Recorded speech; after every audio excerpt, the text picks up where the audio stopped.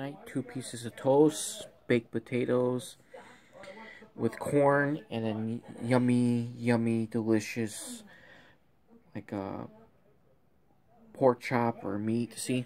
Very, very good stuff. Like a tenderloin almost. But that's my dinner for tonight. I hope everybody's doing well. I'm very happy Alabama Crimson Tide won yesterday. Uh, uh, they won big yesterday, and the Red Wings won yesterday. So hopefully, uh, hopefully Golden State Warriors get their losing streak skid over because we're playing in the tournament, play-in tournament, and it starts right now. We're one and zero. Oh. We're playing Minnesota Timberwolves, who's playing good basketball. So go Golden State Warriors, go GSW. Hopefully you get their losing streak over with. Hopefully you start a win streak. Hopefully they play much better. And for the New England Patriots, I'll make a video sometime when the season's over how I feel and what needs to be done, how I feel and what needs to be changed.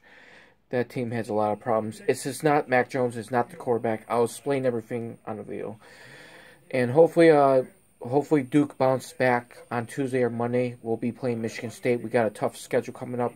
We lo- we lost a heartbreaker against Arizona, but that's not an upset. Arizona Wildcats are a good basketball team. The men's are a good basketball team. They usually are always good. They usually have the talent to challenge anyone any given day. So hopefully they'll bounce back. Hopefully Duke will bounce back and beat Michigan State and you know get going again. So take care, everyone. And to lovely Emie Australia, I hope your morning's been nice. Miss you very much. With a big heart, mom and dad say the same thing. Be careful at work soon.